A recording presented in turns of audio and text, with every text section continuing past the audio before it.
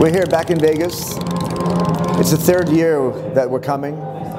As a good friend of mine said, Vegas is a complete gamble because you really don't know what to expect here.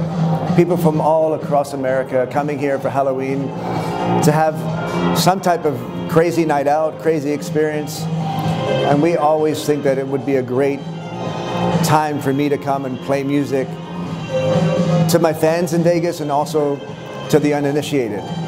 But when you're playing for people who perhaps have never heard techno music or perhaps have never heard of Richie Hawtin or Sven Väth or Ricardo Villalobos or even Loco Dice or Luciano, yeah, you don't know what's going to happen.